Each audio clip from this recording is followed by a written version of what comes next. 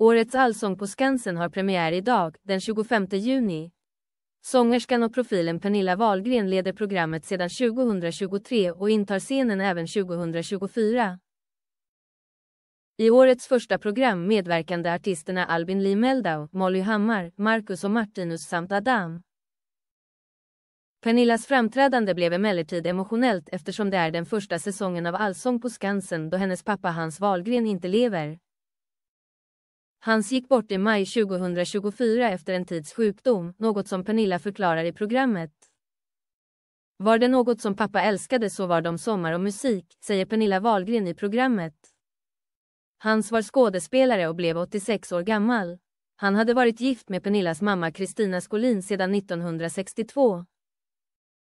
För att hylla sin pappa drar Pernilla igång Evert Taubes visa Dansen på Sunnanö som han ska ha tyckt mycket om.